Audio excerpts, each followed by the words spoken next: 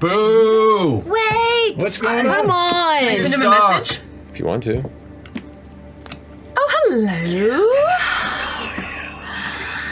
Where are you going?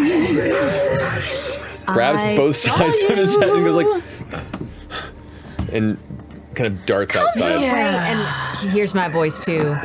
Come on. It's fine. Just get back up here. No one's gonna hurt you. We just want to talk. They're not gonna hurt you. I will hurt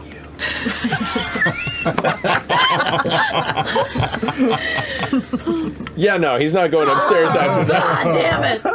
I thought that would work.